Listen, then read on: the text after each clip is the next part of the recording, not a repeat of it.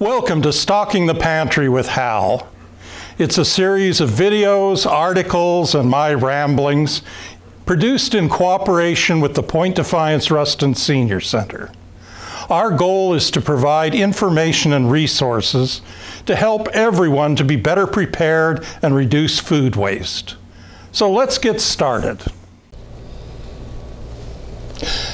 Today we're going to be continuing our uh, series working with dehydrators and also continuing the sub-series of using them to make low-carb snacks and desserts.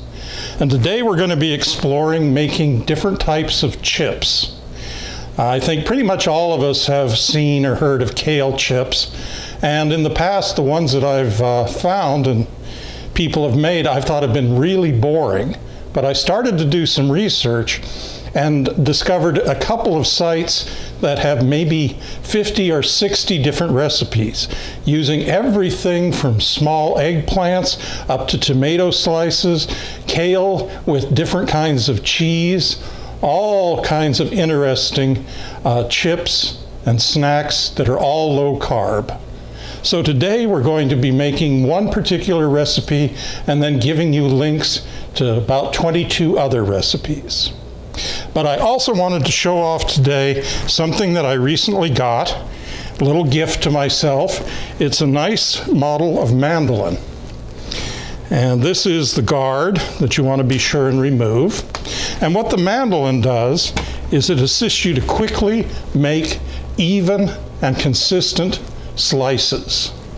Now they're very, very sharp, so you want to be careful. And they're like chainmail gloves that you can get if you're really worried about that.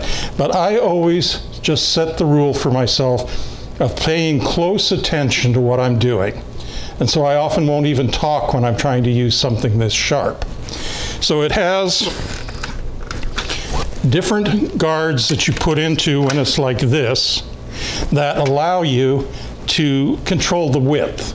Now this is a three millimeter that goes all the way down to 1.5 and up to seven. And then they also have blades that you would swap out that would do different sizes of shredding. So to demonstrate it, I start with rather a long piece, make sure my hands are out of the way.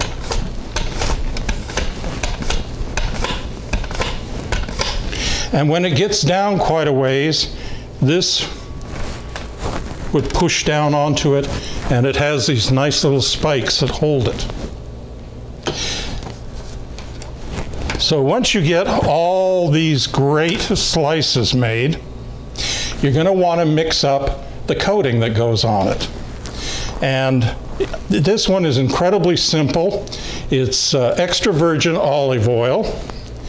And then this is white balsamic vinegar, something I didn't have in my cabinet. And every once in a while, when I run across something I haven't tried, I'll pick it up for the production value. And I need to check with my accountant and see if that means I can write it off or not. And then also coarse sea salt, which I just buy in bulk at a natural foods providing. There are also recipes where you can put in a little bit of granulated garlic or onion powder and there are more complicated ones, which some of the other recipes that we'll refer you to have things in it like finely, finely grated Parmesan cheese.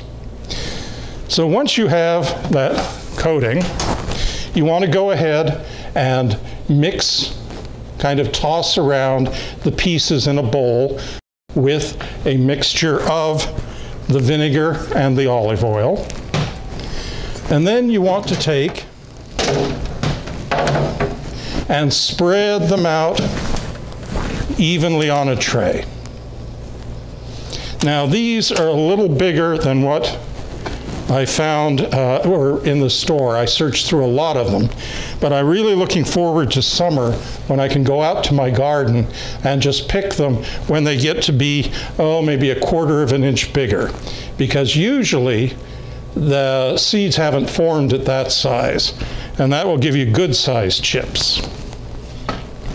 The last step is whatever the salt or salt and herb cheese mixture you're using is to sprinkle a little bit on each one I find pretty much all the recipes suggest a lot more salt than I normally use.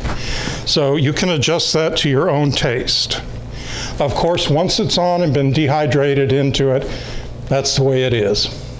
But for your next batch, put it in, set the dehydrator for about 135 degrees, and they pretty much have all have temperature and time controls.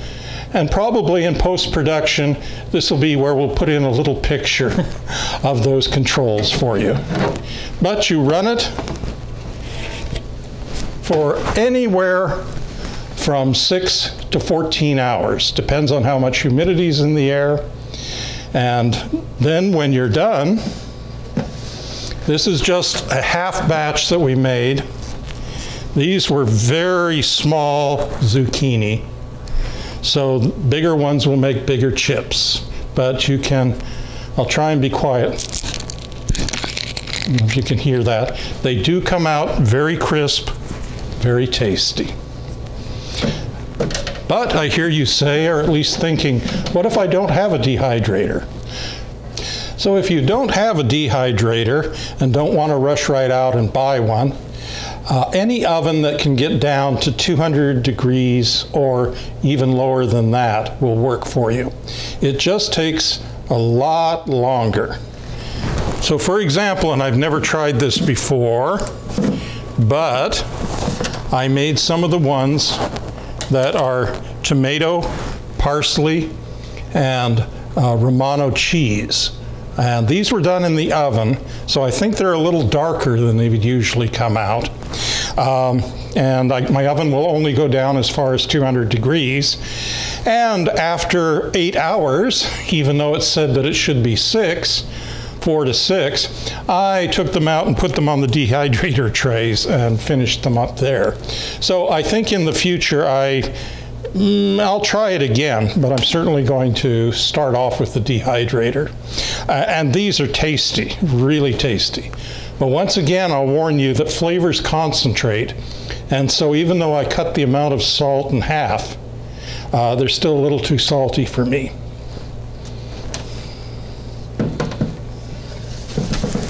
So that's all there is to it. Very simple, lots of potential variations. And if you're um, needing to reduce carbs in your diet or just want some kind of an interesting alternative, uh, please go uh, to our recipe page. Uh, the link is in the introduction uh, on Facebook, but also the link will be on the notes at the end.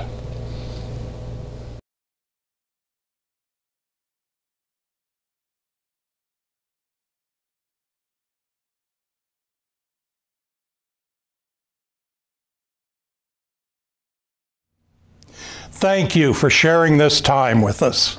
If you'd like more information about the Center for Food Preservation Arts, including more recipes, check out our website at preservedfoods.blogspot.com and follow us on Facebook so you get notifications of upcoming articles, videos, and events. And we hope to see you back here for our next virtual canning party.